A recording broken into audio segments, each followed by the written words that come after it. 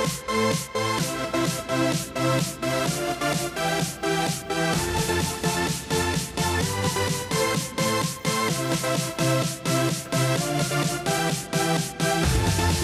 back.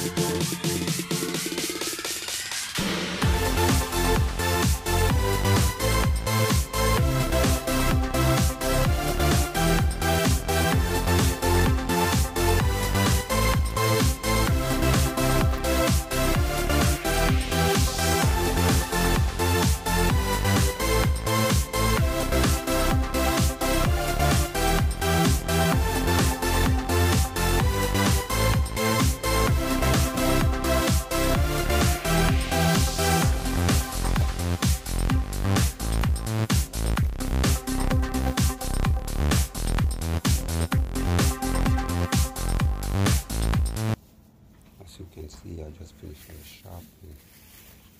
I spent $64. I got everything I needed.